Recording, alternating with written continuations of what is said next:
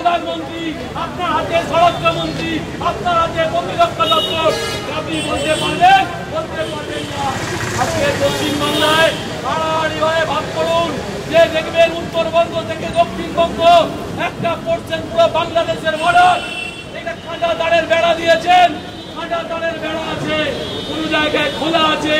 এপারের মানুষ যে বিহারিরা আছেন, ভারতীয় ইউপিরা আছেন ভারতীয় শিখরা আছেন তাদের কাউকে, সকলকে একযোগে বাংলাদেশে অনুপ্রবেশকারী বলে যে চিহ্নিত করেছেন, আমরা তার প্রতিবাদ জানাই এবং ধিক্কার জানাই।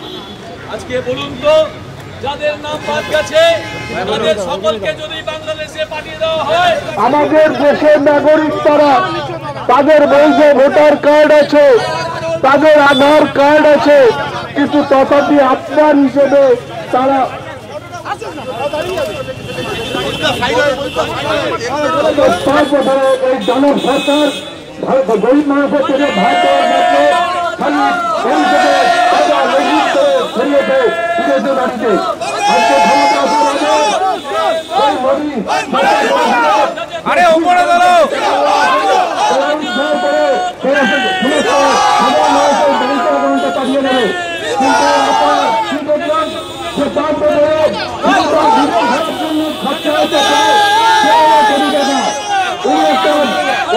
আরে ওপরে ধরো জনক সরকার গরিব মানুষের থেকে ভাত দেওয়ার মধ্যে খালি এই থেকে